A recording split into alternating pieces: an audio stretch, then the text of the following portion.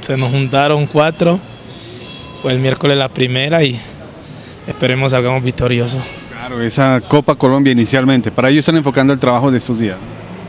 Sí, estamos pues, conscientes de lo que se nos viene. El partido frente a Bucaramanga fue muy bueno en, en condición de visitante.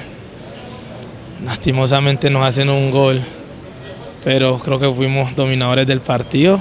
Tuvimos las opciones, no concretamos y por eso nos vinimos abajo en el marcador. Claro, ya en condición de local es otro cuento, la cancha a la misma altura, esto pesa.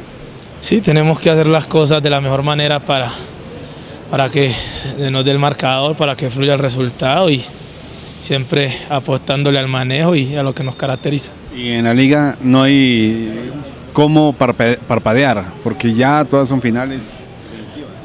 Nos quedamos sin margen de error, todos los partidos son finales, hay que sumar y esperemos el domingo a ver cómo nos toca.